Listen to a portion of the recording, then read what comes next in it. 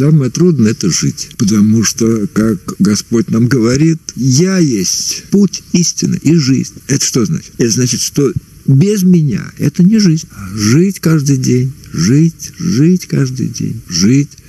К концу жизни стать бы приличным человеком. Вот программа «Максимум» потому что все, кто слепой, кто глухой, кто хромой. Вот. Но почему же тогда указываем друг на друга? А вот смотри, вот, смотри, неужели в больнице это мыслимо, чтобы человек без глаза указал бы на человека без ноги и сказал, вот козел, ноги нет. А тут бы сказал, а ты сам-то смотри, глаза у тебя нет. Это немыслимо. А мы... А, а вот она...